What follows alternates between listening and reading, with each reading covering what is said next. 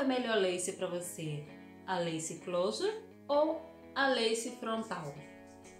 E aí pessoal, tudo bem com vocês? Aqui quem fala é a Alicia e hoje nós vamos falar um pouco sobre lace closer e sobre lace frontal. Mas Lícia, para que me serve uma lace front ou uma lace closer com mega hair? É muito simples. Há pessoas que estão passando pela transição e o cabelo está alto, às vezes está usando nó italiano, às vezes está usando o método entrelaçado na frente e o cabelo já não está ficando mais do jeito que queria por causa da altura do cabelo que já está ficando alto. A lace é a melhor opção nesses casos porque você coloca ela na frente você coloca ela na frente e prende toda ela na costura e cola aqui na frente de alguma forma.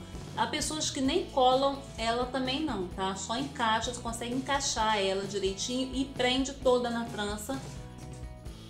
Já está resolvido o problema. E ela também serve para quem quer fazer uma wig. Porque a parte da frente, como vocês viram, conforme eu mostrei a vocês, fica perfeita. Olha, é a imitação de um couro cabeludo. Olha essa linha aqui, olha. Como dá a imitação daquela linha do cabelo onde você tem o baby hair. Falta pinçar essa área aqui, porque como é muito densa e normalmente o nosso cabelo na frente não é muito denso, para poder ficar bem igualado com a parte do nosso cabelo, com a nossa linha de cabelo. Olha só a naturalidade dessa lace frontal, olha a linha.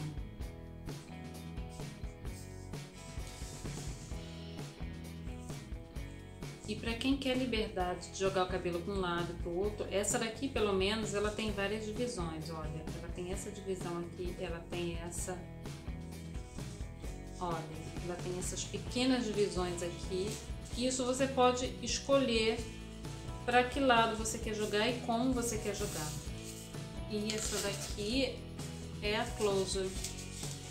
É aquela que vai só na parte do topo da cabeça, aquela que pega a linha da sobrancelha aqui, ó, na curvatura da sobrancelha que vai com aquela parte aqui da entrada do nosso cabelo. Ela, essa esse tipo de lace. Essa daqui é uma lace que eu já usei muitas vezes. Inclusive, ela já está até ficando carequinha aqui na parte da frente já.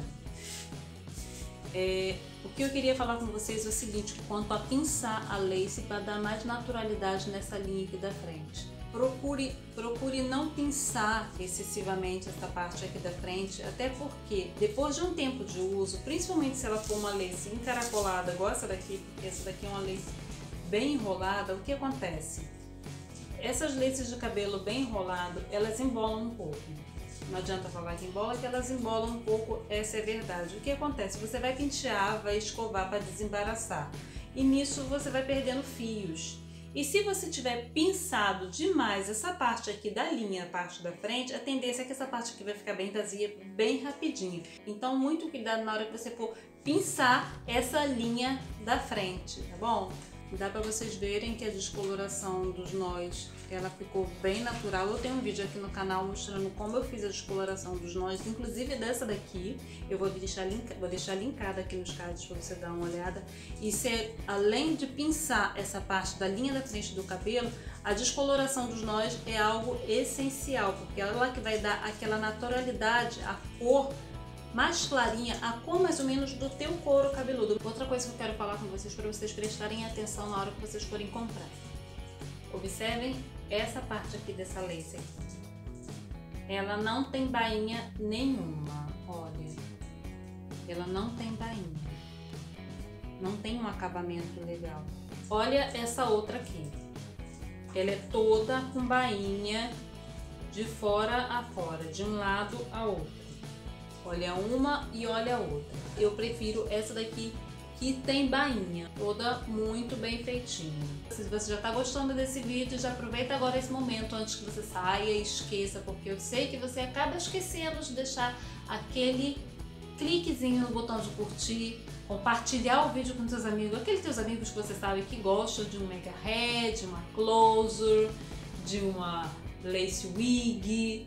Então, se você já está gostando, já curta, compartilhe, comente aí embaixo se você está gostando, se vocês conhecem algum tipo de closures como essa daqui que eu estou mostrando para vocês, que essa daqui é a lace closer essa daqui é a lace frontal, a lace de orelha a orelha ou lace front, como chamam as gringas. Essas laces eu indico para as pessoas que estão pretendendo investir em uma lace wig e ainda não sabem se vão se adaptar ou não. É bom começar com essa lace closer aqui, que ela é pequenininha e é fácil de colocar, é fácil de arrumar. E depois, se você ainda não estiver segura, você partir para uma lace frontal, depois que você já acostumou, já como arruma essa menorzinha aqui, aí você parte com a frontal para depois é, investir em uma lace wig. A lace closer normalmente ela mede 10 por 10.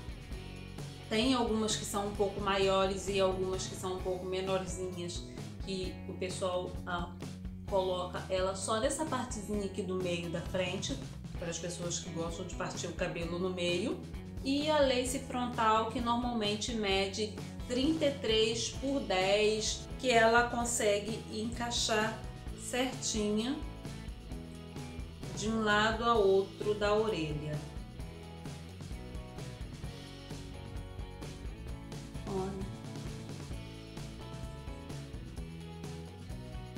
No vídeo que eu fizer colocando, eu vou mostrar a vocês como é, pinçar ela também, eu mostro vocês como colocar. Então, esse é o vídeo de hoje, pessoal. Se você gostou do vídeo, curta, compartilhe, comente, se inscreva no canal e até o próximo vídeo. Tchau!